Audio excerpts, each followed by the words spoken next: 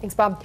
Ada County deputies say some people are skipping the landfill and dumping their trash. A large pile of junk is building up south of Boise. Kelsey McFarland joins us live with some insight to what penalties you could face if you're caught.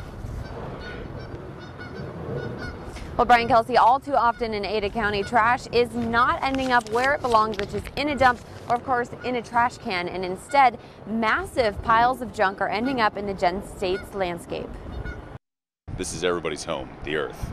We all we're all stuck here, so try to take care of it, you know. Ada County Sheriff's Office would like to speak to whoever left this hot tub, these rotted tires, and all this other junk off of Cole Road.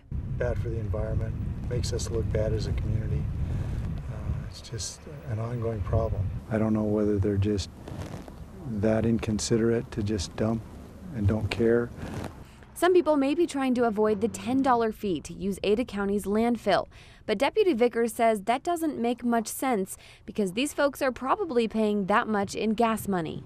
Some aspects, they drive twice as far to come out here to dump it than it does to go to the landfill. Illegal dumping falls under the three strike rule, which means you won't face any jail time until your third offense.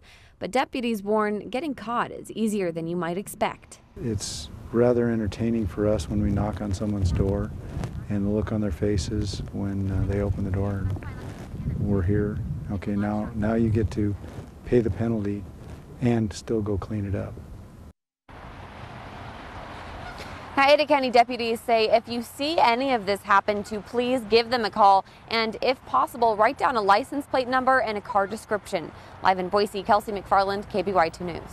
All right, thank you, Kelsey, for that live report this